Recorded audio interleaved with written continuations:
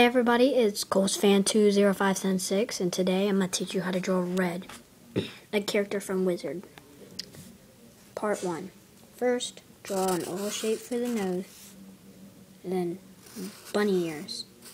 Make sure they're connected, and then little bunny ears inside, like that. Next, draw a ear, and another one. Then, connect each ear with each other and try to keep the line close to the um, eyes. Then draw like that. then connect it again. Now draw a circle for its mouth. And so far, that is part one.